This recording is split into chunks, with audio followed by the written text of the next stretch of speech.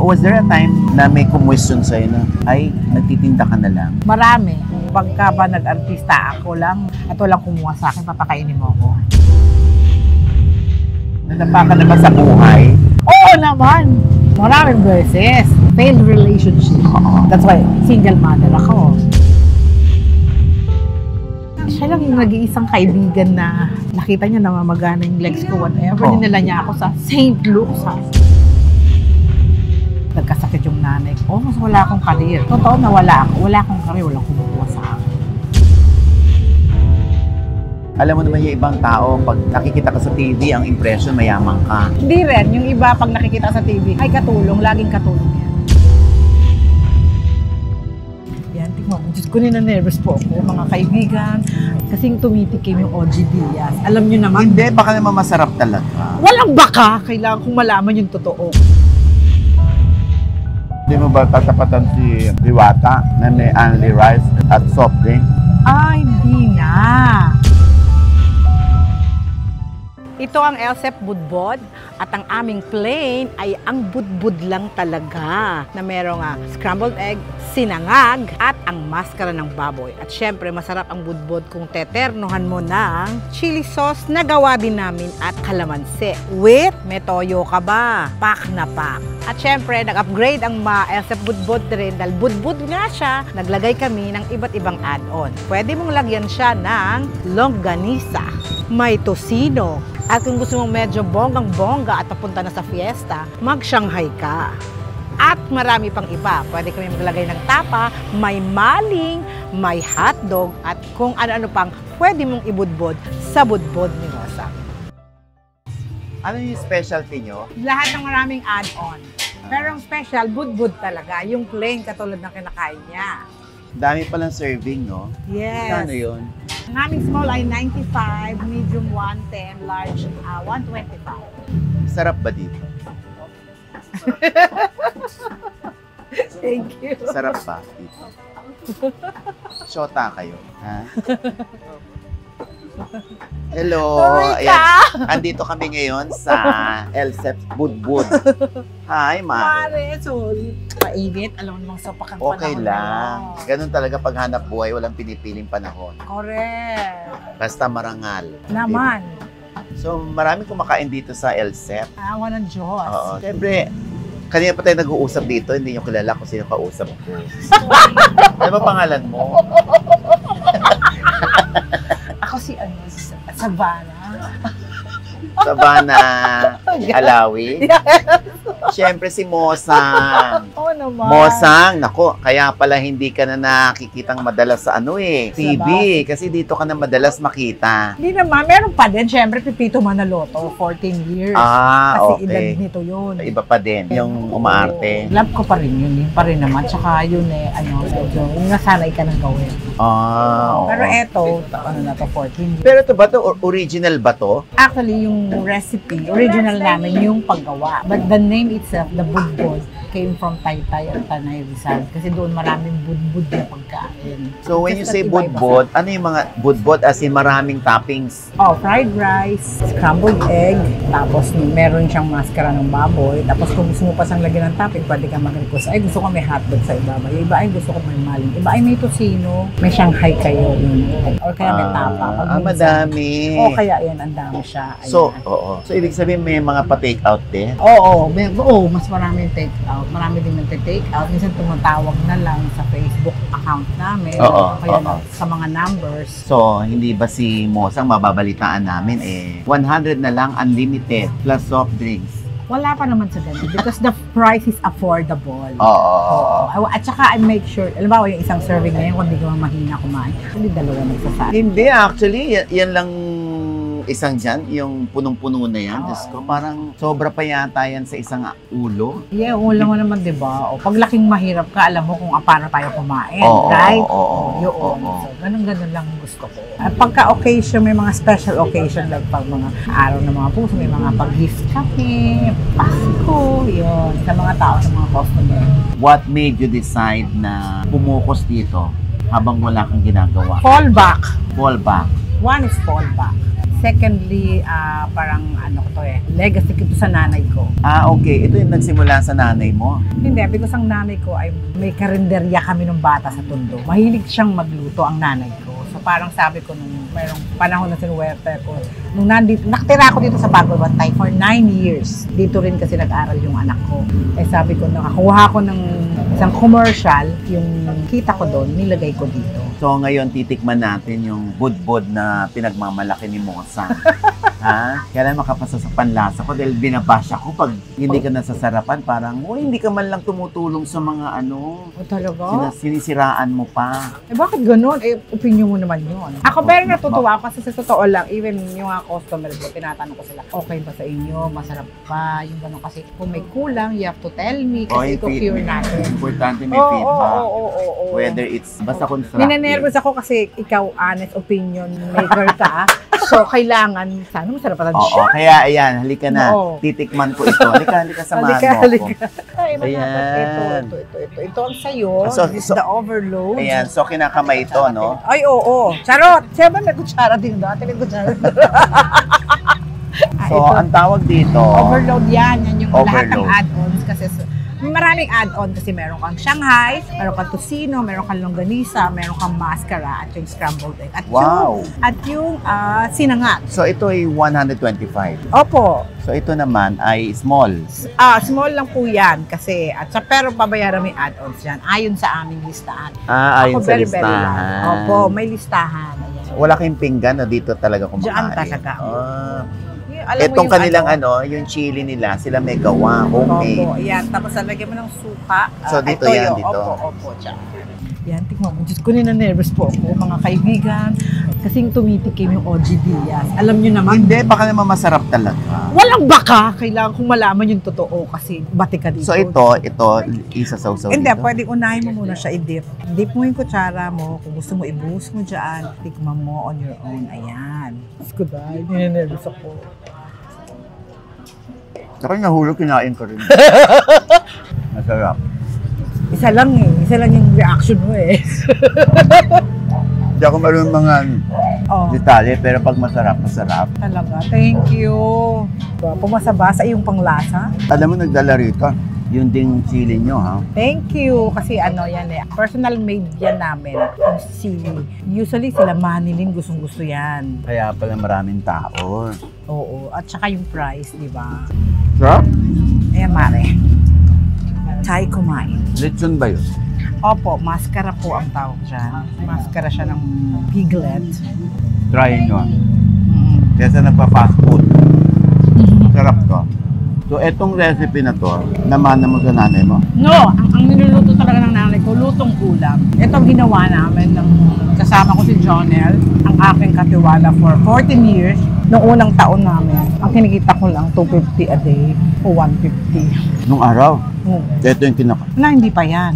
Eh, may nakapagsabi sa akin na parang, naalala ko sabi ng airmats ko na parang, kailangan yung meron kang signature dish. Kumbaga, yung karinderya ito. Pero ang specialty mo, kaldereta. Kasi yun yung pinakang gusto ng mga tao. Parang ganon. Mm. So, nung isa kong kaibigan, kasama ko sa house, sila Jess Soriano. Sabi ko, ano, maghanap nga kayo ng pagkain na pwede nating parang signature dish ng tindahan. Kasi dati tapsilugan to, mare. Hindi pa, nung una pa, tindahan ng mga ulam. Mm. Trinay ko yun, umaga, bukas ako. Kaya ang dami palang tindahan dito ng ulam. So, talo ako. Parang kinikita namin 250, 150. Sabi ng kasama ko, ano, tetuloy pa? Oo, sige. Sabi ko, may show pa naman ako. Pupuhunanan ko, paikutin mo lang. Sagain lang natin. Oh. Tapos, de, nung yung si Jess pumunta ng Taytay, sabi niya, ate, tikma mo to. Ang tawag nila dito, budbud. Sabi ko, ah, budbud ba yan? Sabi ko, ah, ganyan ba yan? Budbud kasi Budbud. maraming, Maraming toppings. toppings. sa ibabaw. Pero yung pinatikim niya sa akin, may sabaw. Sabi ko, ayoko nung may sabaw. Gusto ko yung pwede mong iuwi, i-microwave mo na lang, tapos ah, ready to eat na rin siya kasi ano na. Yun, so gumawa si Jonel ng ate, anong gusto mo? Lagyan natin ng ganito. Yung may nakikita ko parang chow fan style. Sabi ko, sige. Pero make sure affordable ah. Kasi syempre, ang community ko dito, driver, mga call center, hospital, Tubong lugaw ba? Nung umpisa, yes, nung nasa kabilang side ako.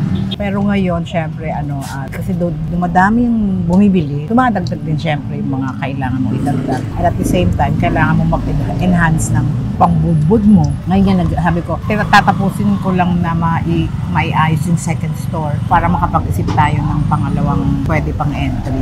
Kasi marami. Actually, hindi ako masyadong, I, I am so blessed with mga sa tao ko, lalo na kay John, na wala na akong problema. Kasi chinecheck, double check ko na lang kumusta kayo dyan. Oh. Tapos minomonitor ko na lang sa Facebook. O may mga orders, hindi nyo masagot kasi sobrang busy sila. Kasi dito pa lang eh, yung take out orders pa lang dito, punong-puno na. Ah, Hindi na nila nakikita sa Facebook. Kaya yung iba, pag umu-order sa akin na yung mga kakilala ko, yung malalapit sa akin na Dumidiretso "Mare, na sa'yo." patikim ko, Ano mo, Mare, pa-order ako ganito. Si Direct Chris, yung mga kaibigan ko Direct ko. Papadala ako sa set, sabi niya, pahingi, pa-order. Si Poco walang umorder, ganun. Yung mga So- kasama ko sa theater, yan.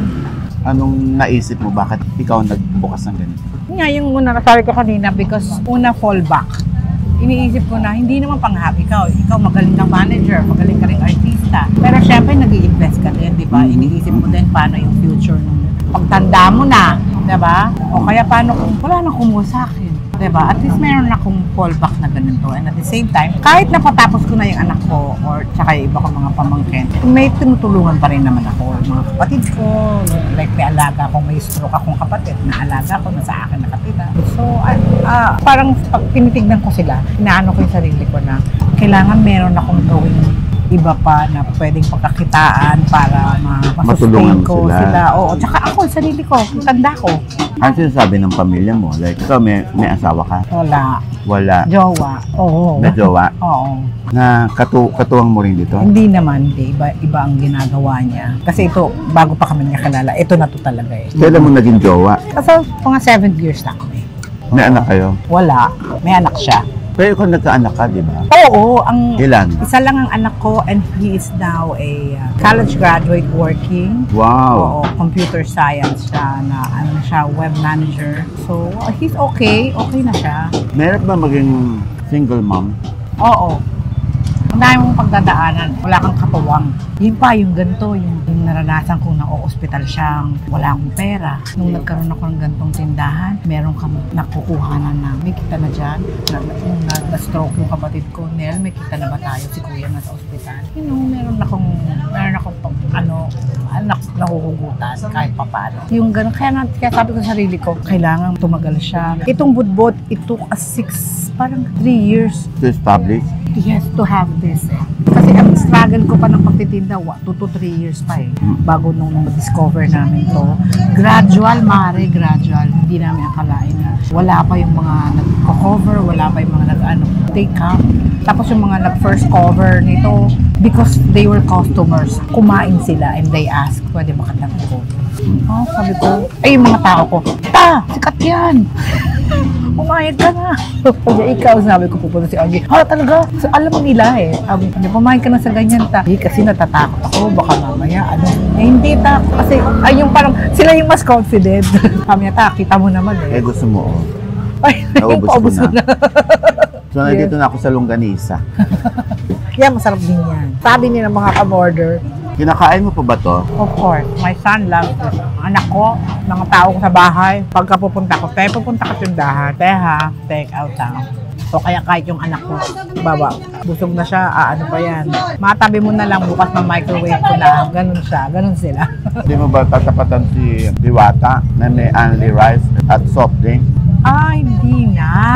Sa kanya na yon, di ba? Tsaka, ang nakakatuwa, pare-pareho affordable yung mga pagkain namin. Good. ang mahalaga sa akin, nabubusog at they like the food. Tinan mo yan, no? Hindi mo kailangan only rice. Ang dami. Kasi nga, di ba, pag laking Manila ka o laking hirap ka, mga tao, gusto nila yung madaling kainin, mabubusog ka pa. Eto, hindi ko nga maubos tong small. Ito, small na yan. Magkano small? 95. 95. But ito, 125.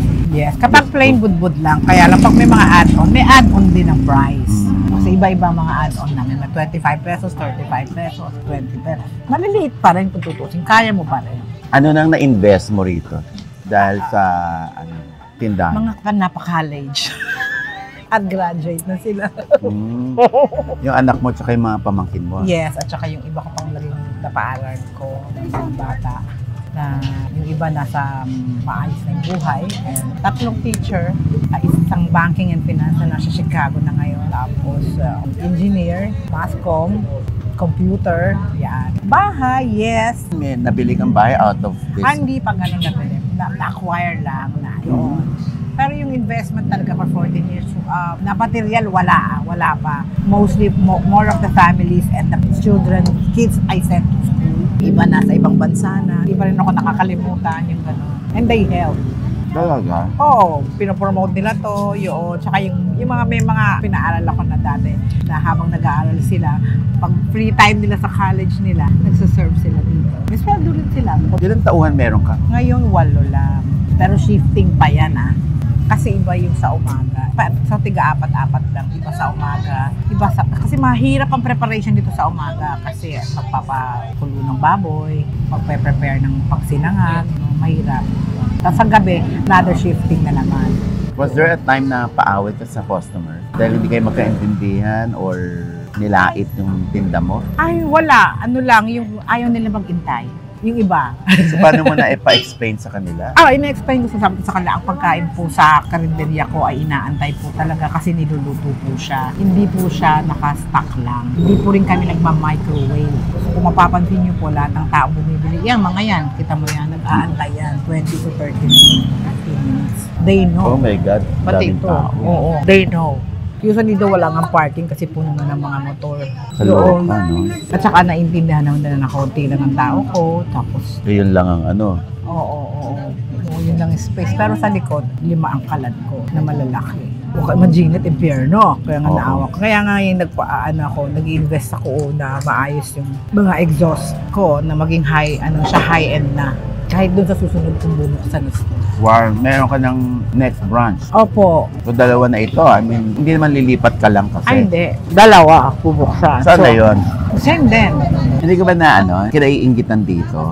So far, hindi. Kasi itong lugar na to, ay hindi naman magmayayabang nabuhay din dahil Buhay na buhay yung gabi dito, eh, no? Oo, oo, oo. Dahil ang daming tindahan dito katabi. Oo, at saka mas na, maging known siya for everyone Oo, na mga oo. na, taga dito sa Bago Bantay. Oo. Meron marami yung ano yung meron ako isang staff na ginaya niya, nagtayo siya ng sarili niya, hindi sinabi sa akin. Nagalit ka? A for a time, yes, mamalog ko.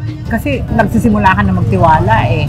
Kasi hindi ko pala alam, unti-unti niya nang ninanakaw. Eh, yung syempre, recipe mo? and everything, di ba? Pero hindi niya pa rin nagawa. Kasi hindi naman talaga namin sasabihin dahil naka, ah, nakaayos na lahat ng mga ano eh. Oh, talaga. Yes. Oo. Pero saktan ako kasi sabi, parang sabi ko, sana nagsabi ka na lang, I could have helped you. Or pwede naman mo partner, di ba? Oh. Tapos kinuha mo pa yung tao ko.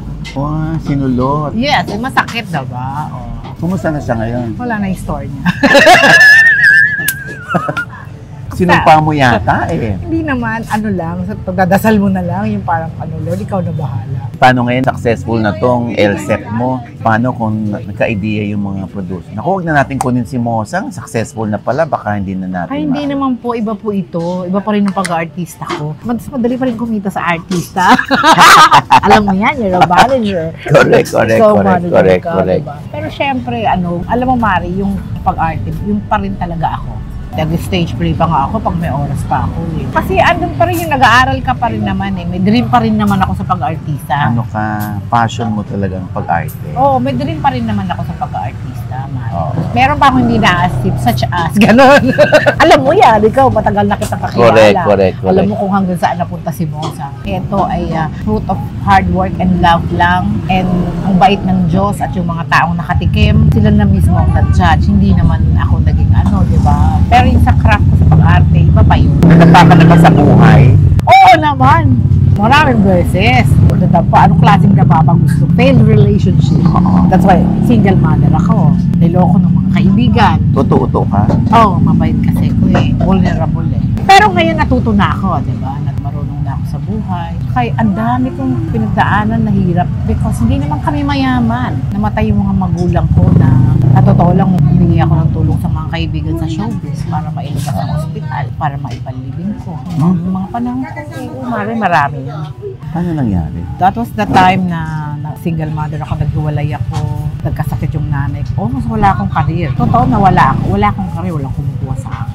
Ah, trabaho ko sa Star Cinema sa Ad and Province. Oo, oo, Natatandaan oo, mo. But those, those were the lowest time of my life na hindi ako artista. Nag-opisina ako. Tinanggap ko yung, nung nagbuntis ako, nilunok ko yung pride ko na mag-opisina ka. Yan ang artista muna. Huwag ka muna mag-artista. Yung gano'n. Sabi ko, sige. Tsaka kailangan ng anak ko, bona pagatas ni Ellie noon. Wala akong pabiling bona.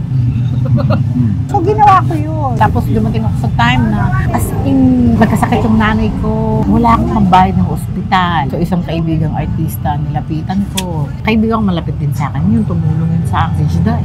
Si Juday. Oh, she's always been there for me. Talaga. Even after the pandemic, I'm so blessed of with good friends. Si Juday. Anong nagawa ni Juday sa Bitoy. buhay mo? Sila, sila Michael Vick. Wow, si Juday, kasi nakasama ko sa Esperanza yan. Naging close friends kami.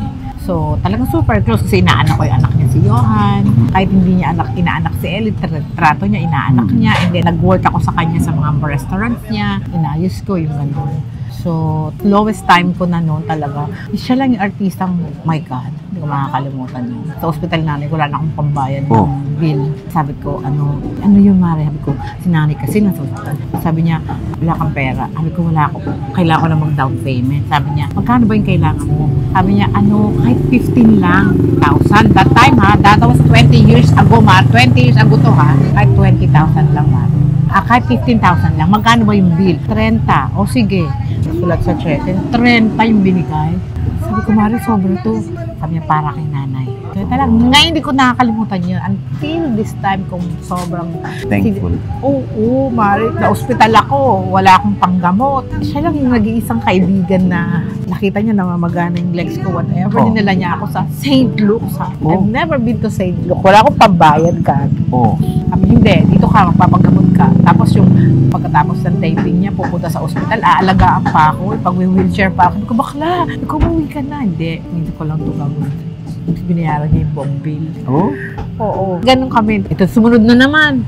Nagpa-opera ako ng thyroid ko. Oh. Pinagskapan ko yun, mabayaran. Eh kaso, hindi ako makakapagtrabaho ng 2 months kasi inopera ako. Oo. Dito na kami noon sa Bagabanta. Tinawagan ko siya. Sabi niya, oh, kumusta ka? Ba't ngayon ka lang? Sabi ko, nakalipat na kami ng bahay. Kasi dati alam niya, naglipat ako. Umalis, ako sa. Tapos sabi niya, ano? Sabi niya, na-opera. Kasi ako, ha, ba't di ka nagsabi? Ikaw, okay na ako, Mari. Sabi niya, may kailangan ka ba? Wala naman. Bayad na lahat, sabi ko. Kaya lang wala akong pang 2 months na ano, kailangan ko magpapahinga ako, sabi ko. Alam mo, ginawa niya, pinapunta niya si Jane. Pinadala yung card niya. Ipag-grocery mo si Mosang ng 2 months. Lahat ng kailangan mo ng 2 months, grocery mo na, Mare, plus cash. Wow.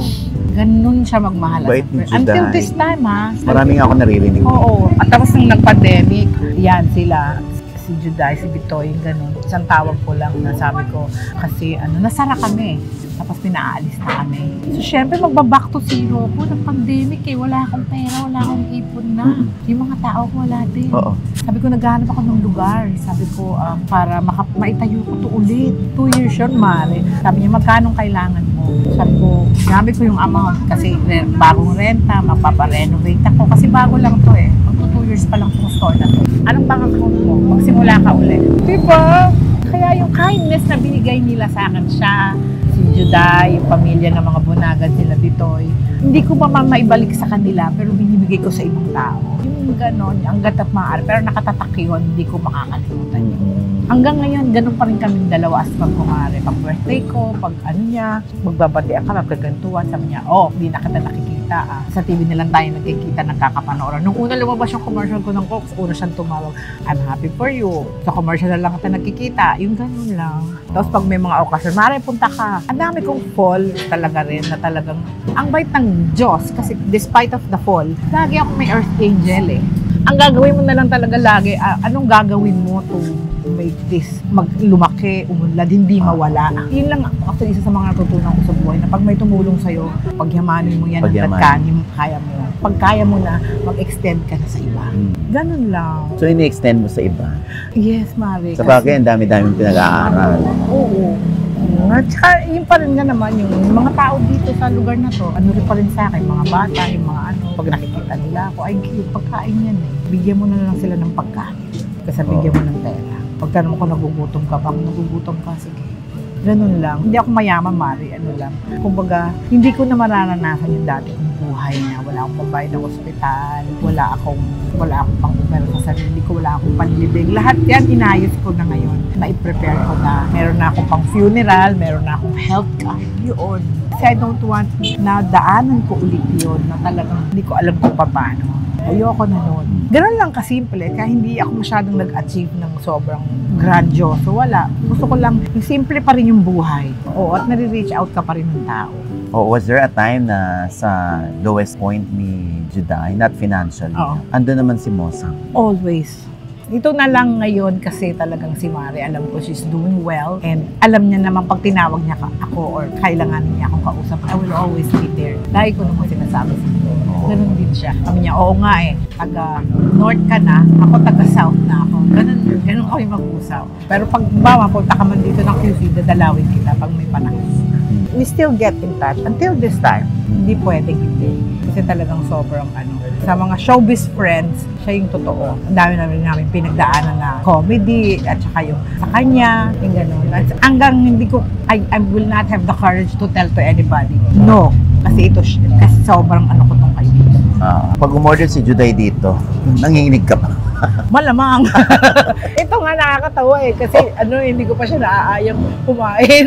Talaga? Kasi may iya pa rin ako. Kasi syempre naman, ano, ang galing-galing ng mari kong magluto. Magluto, yun. Super. Tinigman ko yung angry adobo niya. Diyos ko naman. Sabi ko, shit, di ko to kaya, high-end. diba? So, eh, sa sobrang proud din ako sa kanya kasi talagang, actually siya nga yung nauna eh, na tatagang sa cooking-cooking. Ako lately na lang ako eh, pero siya talaga, minaster niya yun eh. I believe na believe ako doon. Was there a time na may kumwestiyon sa'yo na, ay, nagtitinda ka na lang? Marami. Totoo. Ano sinasagot mo? Ano lang, sabi ko, kailangan nating mabuhay. Pagka ba nag-artista ako lang at walang kumuha sa akin, papakainin mo ako. Oo, tama. Pero yung ngayon iba, positive note na yung sinasabi nila, ay sa'yo pala yan, ay tinda mo pala yan, ang sarap ng pagkain mo. Yun, happy ako doon. Dahil napikon ka dahil parang ah, nilalait ka or parang iniinsulto ka. Maraming beses, maraming, ano ka ba? How sa do you deal with that? Hinga ka ng malalim, tapos lagi mo sasabihin sa sarili mo, at least ako may trabaho. Ah, Kayo, anong ginagawa? Anong ambag mo sa mundo? Di ba? alam mo naman yung ibang tao, pag nakikita ka sa TV, ang impression mayaman ka. Hindi rin. Yung iba, pag nakikita ka sa TV, ay katulong, laging katulong yan. Talaga? Oo. O, anong sinasagot mo? Sabihin ko, at least ako may trabaho. Ikaw, anong ginagawa mo sa buhay? Bukod sa nanlalait ka ng tao. Di ba? Ganun lang yun, di ba? Pero nagbabago naman yan eh. Pag nakikita nila, mahusay kang actress. Underrated ka lang. May meron pa rin ganun. Mahusay kang under- underrated ka. Uy, ganun pa rin. But at least, andun pa rin yung, they know. Mosang ano yung mga ipapayo mo dun sa mga nahihiya na magnegosyo kasi galing sila sa meron, biglang, alam mo yun, yung tipong feeling nila parang, dapat ko ba itong gawin? Katulad nga ng sinabi mo, di ba? Nung tinanong mo sa akin, kailan ka nadapa? Kada naman nadadapa tayo. We are privileged to stand up. It's how you stand up. Kung galing ka sa mayaman at nawala lahat sa'yo at gusto mo uling magsimula, magsimula. Dadaanan mo yung proseso na may mga taong manlilibak sa'yo or kukutsain ka na, oh, kasi ganto, ganyan, sisisihin ka pa. Huwag mo silang papansinin. Kasi ang lagi mong iisipin, kailangan kong mabuhay, kailangan kong buhay ng pamilya ko sa marangal at maayos na paraan, kahit mahirap. Kapag ka naman ganun ka at ah, naniniwala ka sa Diyos, you'll always be guided at lagi ka pa rin itatayo ng itatayo.